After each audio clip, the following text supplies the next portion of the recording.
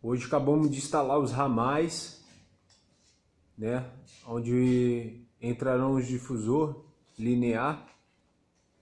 Aqui nessa, nessa linha também vai ter que abrir, né? As bocas de 15 para flexível de 15. Para grelha linear.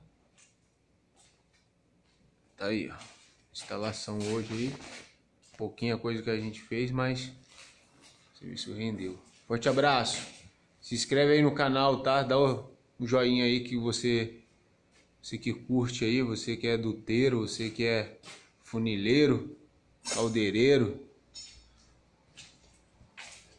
Inscreve aí no canal aí.